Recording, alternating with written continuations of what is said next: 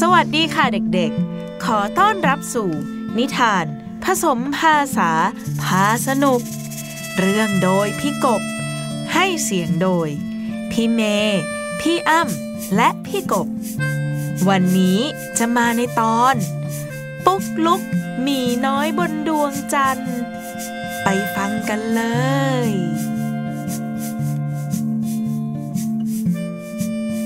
คืนนี้ ปุ๊กลุก หมีน้อยน่ารัก ร้องเพลงวาดรูป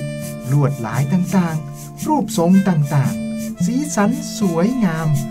วาดไปทั่วบ้าน แต่นี่ได้เวลาเข้านอนในคืนนี้ ปุ๊กลุกยังสนุกอยู่เลย ปุ๊กลุก มาเข้านอนได้แล้วลูก ปุ๊กลุกยังวาดรูปสนุกอยู่เลยครับ ปุ๊กลุกยังไม่อยากเข้านอนเลยครับ ตอนนี้ได้เวลานอนแล้วจ้า ลูกต้องพักผ่อนนะ จะได้มีแรงสนุกต่อในวันพรุ่งนี้ไงจ๊ะ ตอนเนี้ยนอนก่อนดีกว่านะ แล้วก็อย่าลืมเก็บของที่เล่นสนุกแล้ว ให้เข้าที่เรียบร้อยด้วยนะ โอเค ตกลงครับ ปุ๊กลุก เก็บกระดาษวาดเขียน เก็บสี เก็บอุปกรณ์ต่างๆ เก็บของเล่นทั้งหมดเข้าชั้นเก็บของ แล้วเข้านอนในคืนนี้ ปุ๊กลุก แปรงฟันด้วยนะลูก โอเค ตกลงครับ ระหว่างที่ปุ๊กลุกกำลังแปรงฟันอยู่นั้น มีเสียงดังมาจากชั้นเก็บของ เอ๊ะ นั่นคุณกระดาษนั่นเองที่เรียกปุ๊กลุก สวัสดี ปุ๊กลุก ฉันเองเจ้ากระดาษวาดเขียนฮฉันเป็นกระดาษวาดเขียนของเธอไง เออมาหาฉันตรงนี้จิปุ๊กลุกเดินเข้าไปนั่งข้างๆ คุณกระดาษวาดเขียน วันเนี้ยเธอวาดรูปสีสันสดใสมากเลยนะ ฉันชอบ เวลาที่เธอวาดรูปลงบนกระดาษอย่างฉันเนี่ย มันจะกระจี้ยังไงก็ไม่รู้เฮ้ยเอาอย่างนี้สิเออเธอลองเอาดินสอลากตามเส้นสีแดงนี่ดูนะ ส้นเส้นเส้นนี้ใช่ไหมครับ ใช่แล้วอะลองดูนะ มือของหมีน้อยปุ๊กลุก ค่อยๆ ลากตามเส้นสีแดงตามรูป รูปสี่เหลี่ยมจัตุรัสสีแดงนั้นค่อยๆ ขยายใหญ่ขึ้น ใหญ่ขึ้น ใหญ่ขึ้น ใหญ่ขึ้น ใหญ่กว่าตัวของปุ๊กลุก ใหญ่จนล้นออกไปนอกห้องนอนของปุ๊กลุก ออกไปไกลกลายเป็นกล่องใบใหญ่ box b o x box กล่อง B O X box กล่อง จากนั้นคุณดินสอก็บอกให้คุณปุ๊กลุก ลากเส้นตามอีกครั้ง เด็ปุ๊กลุก เธอลองลากเส้นตามเส้นสีขาวนี้ดูสิหืมไหนลองสิครับไหนลองสิ ปุ๊กลุก ลากเส้น ตามที่คุณดินสอบอกอย่างมั่นใจ จนกลายเป็นประตูบานใหญ่สีขาว โอ้โหกลายเป็นประตูเลยนะครับ door d o o r door ประตู D O O R door ประตู บานใหญ่สีขาวเบลอเทอร์เลยครับ เอ้ยเออถ้าลองเปิดประตูก็ไปได้ดิอืมหลังประตูนี่นะ มีอะไรรอเธออยู่เยอะแยะเลย อะไรกันนะปุ๊กลุก เปิดประตูสี่เหลี่ยมผืนผ้าสีขาวเข้าไป ด้านหลังของประตูเป็นทุ่งดอกไม้ สีสันสวยงาม กว้างใหญ่ ผีเสื้อสีสันสวยงามบินกันเต็มทุ่งดอกไม้ กินน้ำหวานจากดอกไม้อย่างสบายใจ เจ้าผีเสื้อบางตัว ก็บินมาทักทายปุ๊กลุก สวัสดีจ้าเธอตามพวกเรามาทางนี้สิโอ้ยผีเสื้อสวยจัง ผีเสื้อ หลากหลายสีสันร้อยพันตัว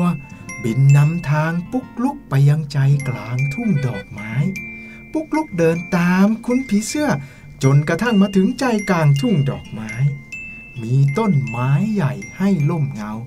บรรดาผีเสื้อหลากร้อยหลายพันตัว พากันบินอยู่บนต้นไม้ และไปเกาะอยู่บนกิ่งต่างๆของต้นไม้ทำให้สีสันสวยงามเพิ่มขึ้นไปอีก เธอลองเข้ามาใกล้ที่ใต้ต้นไม้นี้ดูสิ ได้สิ ปุ๊กลุก ไปอยู่ใต้ต้นไม้ใหญ่ แล้วมองขึ้นไปข้างบนต้นไม้นั้น เห็นพี่เสื้อหลากหลายตัว อยู่กันตามกิ่งก้านใบของต้นไม้ และต้นไม้ก็ยังมีผลไม้สีเขียวสวยงามเต็มไปหมด แล้วคุณต้นไม้ ก็ได้ชวนปุ๊กลุก นี่ ฉันจะแบ่งผลไม้ของฉันเนี่ย ให้เธอลองชิมดู เอาไหม โอ้เอาครับ เอาครับโหเหมือนพีระมิดเลยครับพีระมิด P Y R A M I D พีระมิดรูปทรงพีระมิด P Y R A M I D Pyramid รูปทรงพีระมิด แบบนี้เนี่ยปุ๊กลุกไม่เคยเห็นมาก่อนเลยนะครับ อืม มันมีที่ดีทีเดียวแหละ เธอลองชิมดูสิ อืม หวาน หอม กรอบ อร่อยมากๆเลยครับ ขอบคุณมากครับ คุณต้นไม้ ไม่เป็นไร ปุ๊กลุกกินผลไม้สามเหลี่ยมแสนอร่อย แล้วนอนเล่นวาดรูป ร้องเพลงอย่างสบายใจจนท้องฟ้าเริ่มมืดลง ดวงดาวสว่างเต็มท้องฟ้า คืนนี้ดวงดาว stars S T A R S stars ดวงดาว S T A R S Stars ดวงดาว สว่างสวยเต็มท้องฟ้า สวยมากจริง ๆ เลยครับ แล้วดวงดาวนับล้านดวงบนท้องฟ้า ก็ลอยเรียงแถวกันลงมาเป็นบันไดทอดยาวสูงขึ้นไปบนท้องฟ้า ให้หมีน้อยปุ๊กลุก เดินขึ้นบันไดดวงดาวสูงขึ้นไป จนไปถึงคุณพระจันทร์ดวงใหญ่ สวัสดีจ้าหมีน้อยปุกลุก คืนเนี้ย ฉันให้เธอมานอนบนดวงจันทร์อย่างฉันได้นะ เดี๋ยวพรุ่งนี้ เธอตื่นนอนแล้ว ฉันจะไปส่งเธอเองโอ้ดีใจจังเลยครับ ขอบคุณครับ และในค่ำคืนนี้ ปุ๊กลุกก็นอนหลับฝันดีไปกับคุณพระจันทร์บนท้องฟ้า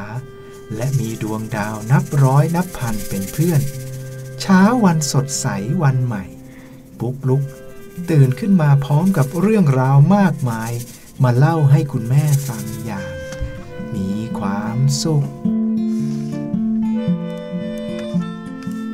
ติดตามรับฟังนิทานผสมภาษาพาสนุก ได้แล้วในทุกช่องทางของ Thai PBS Podcast ทั้งเว็บไซต์ และแอปพลิเคชัน ดาวน์โหลดได้แล้ว ทั้ง iOS และ Android เลยนะคะ